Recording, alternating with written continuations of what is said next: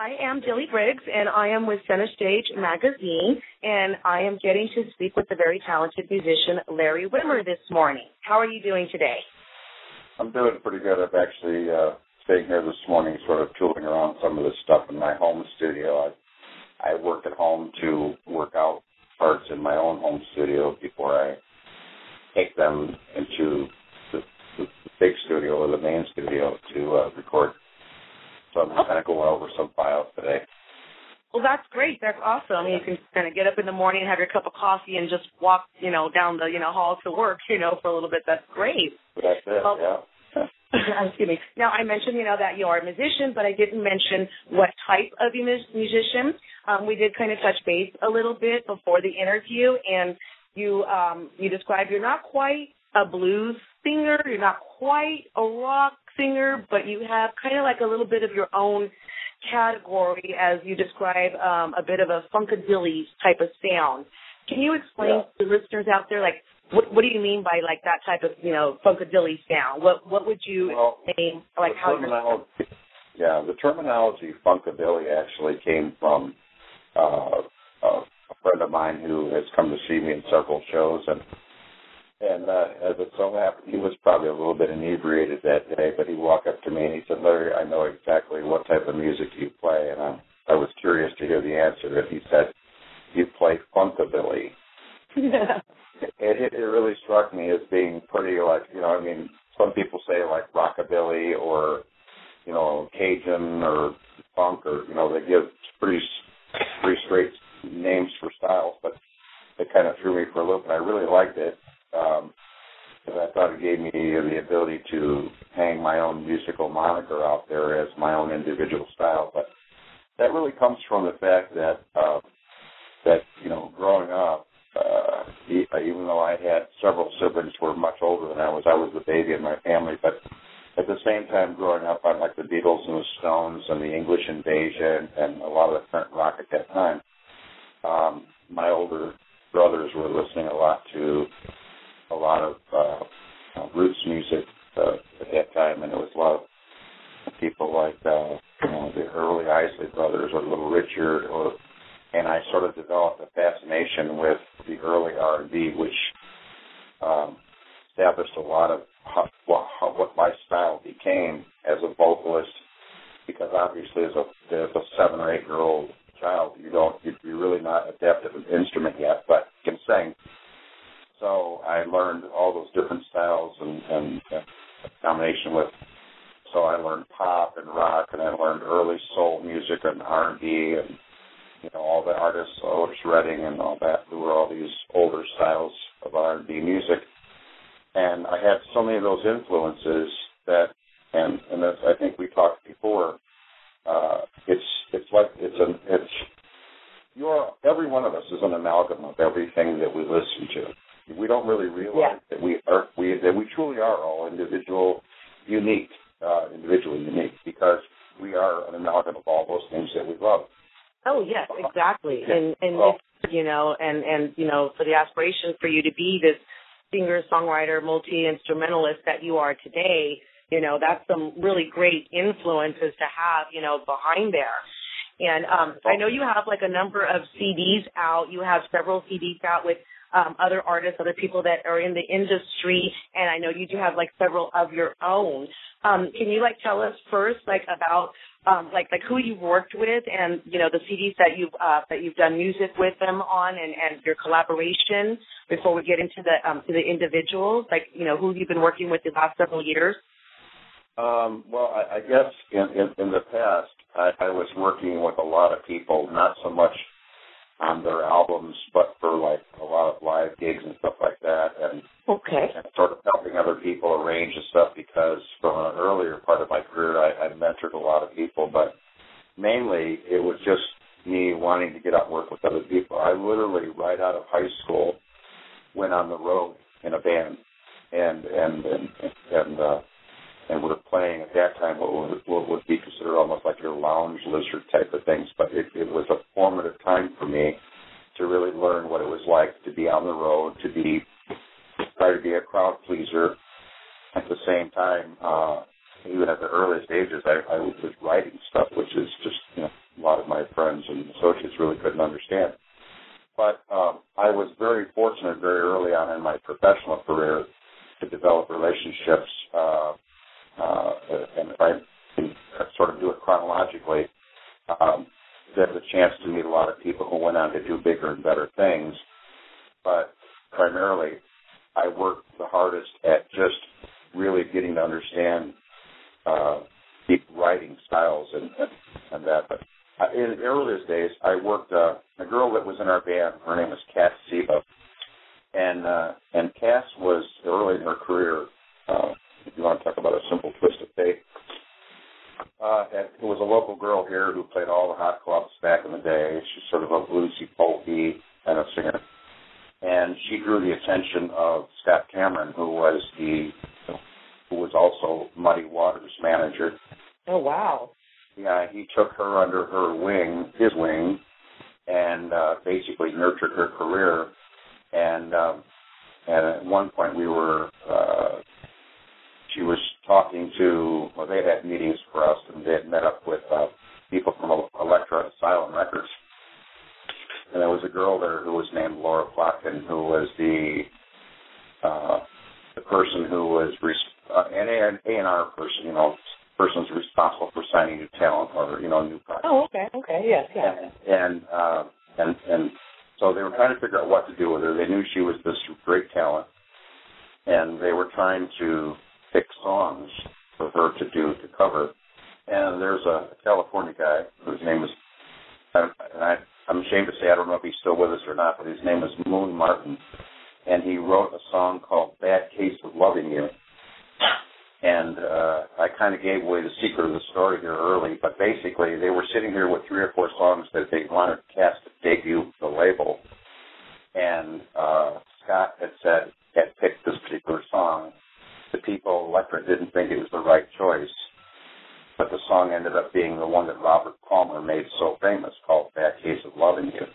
And I was going to say, as soon as you said that, everybody knows, you know, that name, but everybody knows, you know, Robert Palmer with the famous video of all the girls, you know, in it and everything. Right, right. That's and awesome. the whole a simple twist of fate means, you know, I would have had probably had a, a much more magnanimous career had she recorded that and pushed aside the bigger and better things. But that's how how fickle fate can be.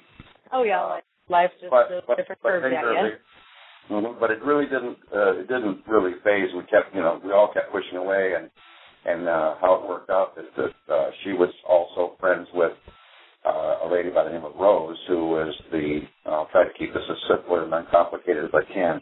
Was her best friend Rose? Cass's best friend Rose was married to Dennis Johnson, who was the bass player for Survivor. Oh my goodness. Tiger. Yeah, I had the Tiger. So uh, naturally, we got sort of a backdoor hookup there to do some stuff with those guys, and, and you know, and do some gigs and whatever. And it led to other things like playing with Cheap Trick and uh, Off Broadway, who was more of a regional favorite around here, and different people. But uh, much further down the road, uh, I, you know, we move along, and then you figure that I, I started working more at my own stuff in my own career. It's, Yeah, and this is when you kind of started doing more, you know, connections in there, and you know, um, to be working with, you know, so many great people in the industry. But of course, as you said, you want to be able to also have your own individual music out there because, like you said, your own funkabilly sound. I mean, something different, something people would definitely be, you know, attracted to. Um, as far as you know, like so, these are like when you go into your own music. Um, I will have to say, I really did love, you know, Sunrise in the in New Orleans song and it's it's very moving, very soulful, and like I use music for therapy for the moods and stuff, and it was just absolutely beautiful. And I'll have to admit, I watched the Burning Up video like a bunch of times. I'm glad you liked it. I, I have to say that uh, that I, if I, I I'm not a person who will pat myself on the back or brag about anything, but uh, when my wife would come and watch me play in a room, and she would say, you know, the one thing she said, you don't realize that you're a storyteller. And and to me, that's a big part of what I always try to convey in my music. That I uh, I want to grab people's attention, not just space, because a lot of people can just write a song, and there's formula for writing a lot of different styles. But uh, primarily, when I get on a stage, I'm trying to communicate and connect with that audience. And my wife would say, we can be at a bar, Larry, and she'll say, and then all of a sudden people are watching you on stage and they're listening to you sing these parts. And the whole room stops and they watch you and they listen to you. And that is the connection that's most important to me is because when I'm speaking those words or telling those stories, that's when you really feel the connection between you and the audience, and that's that's solid gold to me.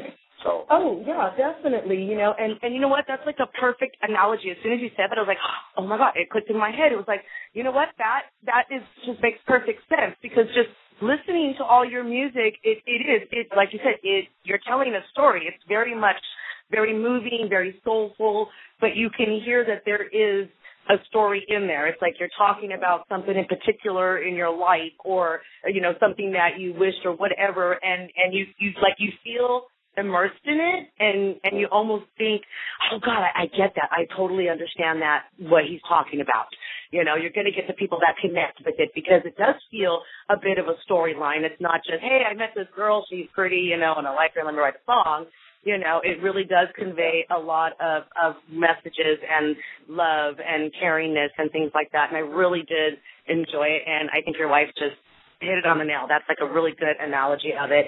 And music, I thought it was amazing. It really was. Like I was, I was listening to it a lot. I was even telling my husband, "You gotta hear this. You gotta hear this."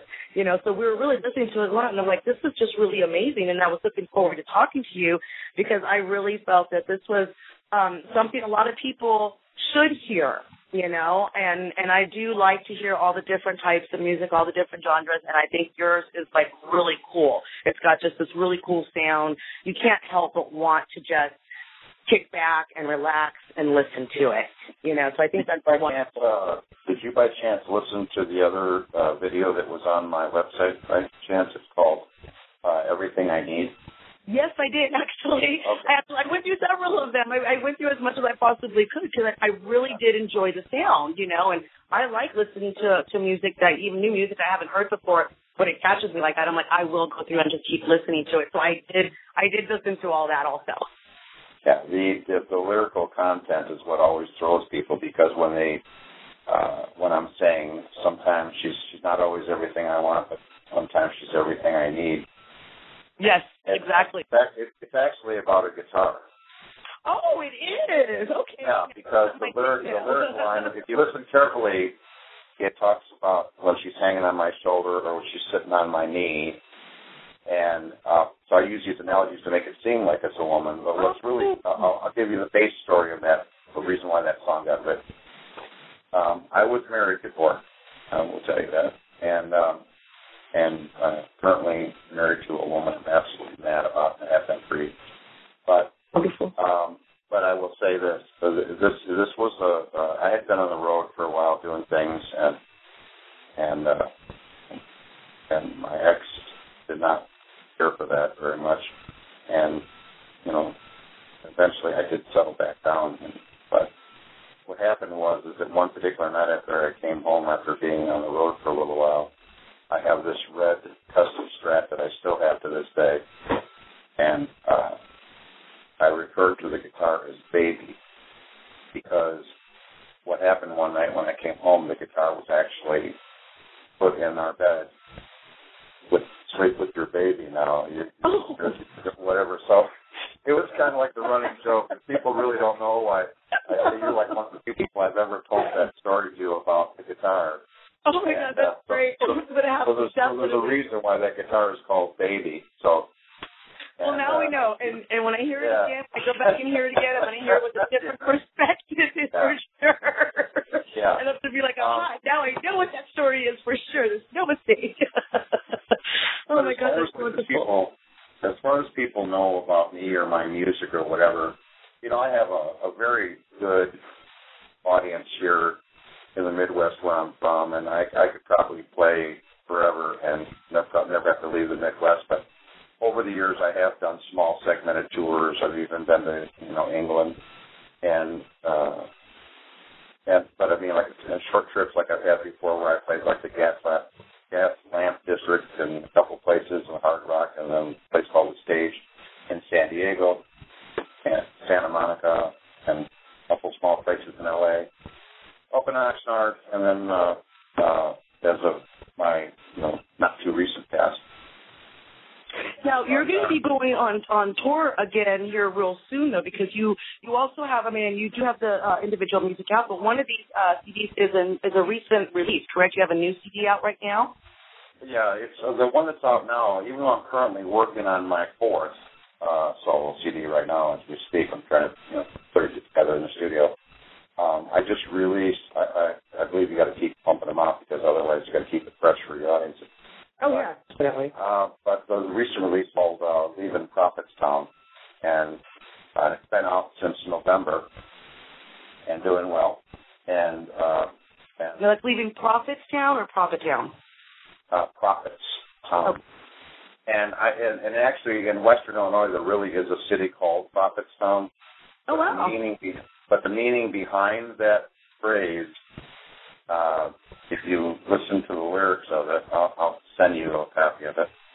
Uh, is that would be wonderful. Really talking about uh, being in a city that just is so you know caught in in the Stone Age, and everybody's a prophet. Everybody tells you how to live their life, how to live your life, the things to do, you know, what you're supposed to do, what you're not supposed to do. But everybody else, yeah, everybody but, has it. But they keep doing the same thing they're doing, stuck in the same hole that they'll be in forever. So I made it my if you uh like one of the lyric lines, well, my home, the wrong side of the city, in a town that had no pity, no reason to stay, nothing left here anyway. So Oh, I like that. Really, yeah, and uh, so it really kind of points out that you know sometimes you can be so caught up in a world that you never escape because you really don't even know that you're trapped. Yes, I could see that easily. Yeah. So, but anyway, it's it's done quite well.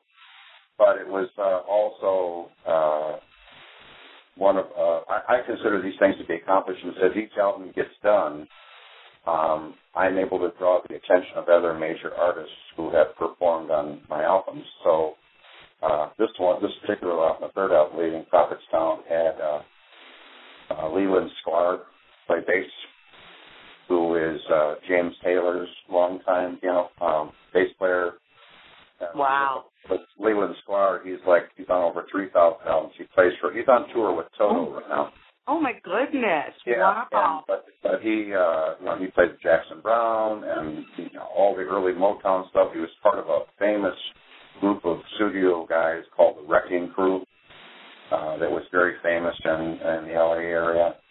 So I feel very blessed to have guys like him as be part of this and Oh yeah, definitely. I mean, what what what an incredible influence to to be working with. Yeah, definitely. Yeah, he did it. He did it based on what he believed, and he believed in the song because it was it was a choice he made. It wasn't my choice. It was a choice that I yes I asked him, but he wanted to do it, and he did it, and I am forever grateful to him. And I I, I hope he hears this because he certainly I, I can never thank him enough for his wonderful contribution. But also I work with uh, Tim McDonald, who is uh, Tim McGraw's piano player in Nashville, and uh, and he also is on the show Nashville, which is on ABC. Oh yeah, oh yeah, yeah, yeah. I, I do watch. Yeah, that. yeah, and so he's quite accomplished, very accomplished, great guy, um, a real talent. Uh, just once again, just one of those people blessed to have him on there. And the other fellow that was on this one too is Eric Scott, who lives in California as well. Oh yeah, we we did touch base. I remember uh, before yeah, we did yeah. touch base about that. Right. So I mean, uh, you know, another bass player who worked with Sonia Dada and and uh, a lot of a lot of soundtrack stuff. He, uh, what was the new movie? Was it called Pan? The Peter Pan thing? Oh, there was yeah, there was a brand new one recently. Yeah, uh, I think it was just called Pan. I think it was just Pan on the Yeah, and it's Correct. sort of like a futuristic version of Peter Pan. Yeah, yeah, a little. Yeah, it's, it's a little different than the traditional. Yeah, Eric, Eric did a lot of the soundtrack for that. Oh wow, that's so, wonderful. So I, I mean, as I keep spreading my wings, and you know, I've had Michael McDonald for the Doobie Brothers, and his certainly has his own brilliant career. Who has Doobie Brothers, yeah. that said some wonderful things about the music. So I know that things are opening doors for me, and I'm getting more and more people who are in the know or in the, the at, you know at the top of the heap, so to speak.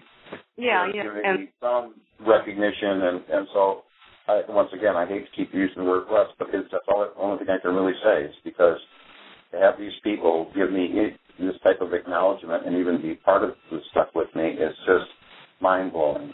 Oh yeah, this was just amazing. I mean, just listening to you, and you know, I mean, I know you worked with a lot of different people in the industry, but I mean, just listening to all the information is like it is mind blowing, and it's amazing that you do have these influences around you and working with you, and you know, giving good feedback with you you know, and but at the same time, I mean, I, you, you know, most people don't brag on themselves, and I really don't want you to take away, you know, for the fact that you really truly, I feel you do belong in that same category. Because again, I've been listening and watching and studying up, and you know, and just like I'm truly amazed. I like I would have no problem sitting in a lounge somewhere for three, four hours just listening to you nonstop. You know, I mean, I really do feel that you're very much in that same category. So you really do um, I mean, you really should give yourself credit in that. And um, just everything that you have done. And I know the fact that you're working on your fourth solo now. You just released the third one. And I know, like, you're going to be working in Nashville here pretty soon. You're going to be recording in Nashville, and then you're going to hit uh, tour. Um, actually, be all over the place. Is, yeah, the first stop is actually going to be. I'm going to do a couple of cities out in uh, Washington State. Oh, okay, Washington first, then Nashville. Yeah, and then uh, and and then I'm going to go to Nashville probably the latter part of June uh, to record probably about half of the new album in the Pro Studio down there with the uh, Nashville session guys and the guys set up. Wonderful. So, and this is what you're working on now in your in your home studio, yeah, and is right. it kind of like take over there to to complete it? Right. Basically, when you when you're in your own home studio, and it's you know, and like everybody, almost anybody who's in this industry at this level has a, a home studio where they can at least track yeah, on all my albums, I've played my own drums, my own guitar, do all my own vocals, solos for the most part, and then I have to bring in other people like keyboard players, bass players, horn players, harmonica players. Oh, okay, okay. Singer, so, but but so I can lay out a basic kind of uh, song uh, structure here, and it will give all of them a really good idea of, you know, primarily how I want it to go at the other end. So uh, well, that's great. And and where can fans now? Where can fans see you, your music? Where can like what are your social media sites where fans can go and check out your music? And we're talking about now. You might have people going, you know what? I want to go hear this right now. You know, and um, well, uh, you know, the whole thing. There's a couple different sources, and uh, what the first one obviously is my website, which is www.larrywimmer.com, and of course Facebook is, you know, you can just type my name in on Facebook and they'll find me there. They can find my music page there as well. Um, I my music is available on all of my albums on iTunes, at Amazon, CD Baby. Uh, so they're capable of listening to and or buying from there.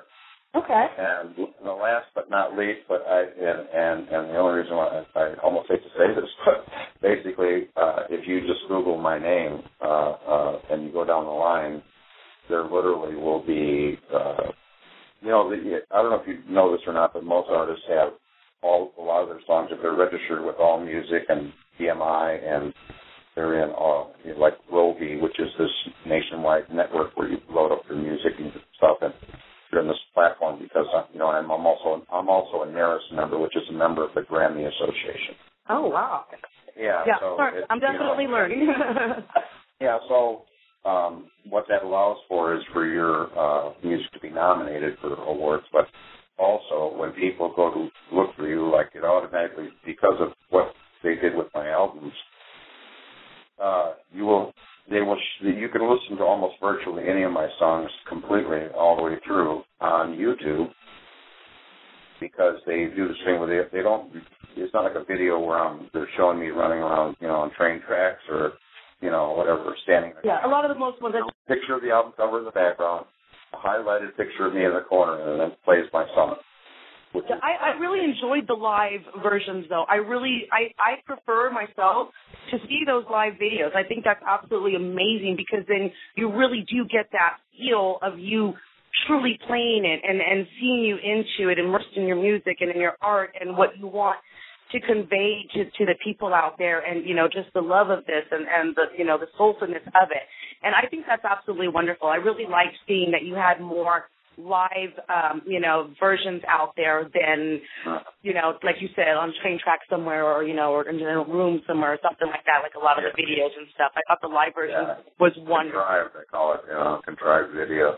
Yes, it was absolutely. Yeah, like I said, I, I couldn't stop watching uh, growing up. yeah, and then the thing is, is that you know, and what it, and and you know, being a little older as an artist, um, I uh, like I said, I great, did a great deal of mentoring and working with other people here in the Midwest. More so, early in the career it was with a lot of bigger bands, but uh, the last 10 to 12 years when I've been really the most serious, even in my own career, solo-wise, uh, I've worked with people like Kerry Spitzer, who was a local guy puts a lot of wonderful albums, and I I, I performed uh, on that album with him. It was an album called Wood and Wire. Uh, and uh, there's a, uh, also a, a local girl who's a fabulous singer, Leah Stilson, and it's just her uh, one album she has out is just self-titled. It's called Leah Stilson, and um, so helping a lot of younger bands. There's a band called The Final Run, which is sort of a an emo band that I work with, you know, in a sort of an advisory capacity and uh, they they get sort of a lull for a while, but they're starting to come out and hit it. But uh, but I just you know I mentor to anybody that I can if I if if they need me or whatever, and I have always given of my time since forever. Uh, when people needed me in any capacity, whether it was guitar or drums or vocal or whatever I could contribute, I've always worked on every other project for absolutely free. Well, you're, you're still kind of doing that for them now. I mean, you're still promoting them yeah. and talking about them and mentoring them as we speak now. We're, you know, calling you to talk about your work and everything and, you know, so people can get to know a bit more, more about you and, and your music. And you're still mentoring and promoting other people and their music, which is wonderful. It shows what a good hearted person you are and, you know, that everything you say is sincere and you take it to heart and you take that influences and those connections and stuff really to heart and it, and it, and it shows that you appreciate it you know, for, you know, for doing that, you know, and again, I don't want people to take away of the fact that, you know, you're truly amazing yourself. And I really would like people to check you out. So yeah, you know, everybody please just Google Larry Wimmer, you know, go on his site, check out his music. I've been doing all of that, you know, something I definitely recommend. It's absolutely wonderful, you know, and, and you really have had a lot of connections, you know, with so many different people. You have some wonderful stories. So I think that's wonderful. Storytelling on stage to music is definitely, you know, your skill. You know, something definitely that I really enjoy. Um, okay, well, I mean, is there like anything else though that you would also like, you know, the fans to know about before we, you know? Well, before I do, I, I can I just give a shout out for a couple of yeah. people real quick? Of course you can. I, I, I you know, uh, there's a fellow who lives in Nashville who was at one point, and he he was like my biggest um, cheerleader for a while, and he's sort of like somebody retired in the business itself, but uh, in, in the day he managed bands like Lynyrd Skynyrd and and and has become one of the patriarchs in Nashville. Uh, a gentleman by the name of Mike Kinnamon, and it's like the word cinnamon but spelled with a K to start. So I want people to know about this guy and you know and know who he is because he has given me absolutely free sage advice. Uh, uh, it's almost like a father figure to me in Nashville. And there's not a person who there would say a bad word, but it is because of his persistence in kind of dogging me to get certain things done and push forward that uh, the other guy owe a great deal. And I, I feel like I would do a disservice if I didn't give him as much credit for me being where I am as a writer or as a performer uh, or you know, as or pursuing a career. Uh, no one is more responsible for me doing it than him. So wow, shout out for him. Wow, that's wonderful shout out too. It's definitely a great. The other, and the other is uh, a friend of mine from Nashville, a uh, guitar player that came over from Russia uh, the better part of like uh, 12, 14 years ago with this band called Bering Strait um, who was one of the top session guitarists in Nashville, and the guy that you know works every day in the studios in Nashville. And just to let you know that successful people uh, are some of the pe- best people on the planet. And there's a lot of jerks out there. But a guy who has always remained humble, kind to everyone in the industry down there, and has helped in many conversations to give me the straight skinny on everything that's going on uh, in the music world. Uh, and and that was for him. So his name is Ilya Toshinsky, and I think people should look him up, uh, check him out too, and. Uh, that's about it as far as that goes. But as, uh, as as far as anything else, I just want to say I just I just uh, want I love when uh, I get a chance to uh, really tell people what I'm really trying to do, and it's not some contrived thing that I'm really trying to put a message out there through my music and. uh yeah, it's like a mainstream what you hear every day type of thing. Yeah. Yeah, you definitely, definitely put a lot. People, yeah, and if I change a few people in the world, if I can really, because there's an old saying, if you can change one person in the world, you've changed the world. So, um, I totally believe that. So, I guess well, I can pretty much leave it there. Uh, Well, I mean that's that's an awful lot. I mean, you you really have you know seen that you have a lot of people in your life, you know that you, you've really touched and that they've touched you, and you've made a lot of connection and built a lot of friendships. It seems, you know, and and yeah, everything just but it, it all seems to work together with a great collaboration because again, you know, the music is amazing, really wonderful, and I was able to easily just immerse myself in it, you know, and I just thought that was great. So yeah, so again, you know, um, I'm Billy Briggs with Center Stage Magazine, speaking with the multi-talented Larry Wimmer. And if you just go check out his site, you can just Google his name. You can go to Facebook, you know, and um, find you know different sites there. And yeah, please make sure to check out all the people that Larry has mentioned. It's a little too many for me to be able to shout out all the names you mentioned, but you know, check out the people that he's you know asked you to check out as well. You know, he won't steer you wrong if it has anything to do with the influence of the music that you make, then I would definitely go and check it out because I'm already hooked on what I've heard from you. So I think that's wonderful.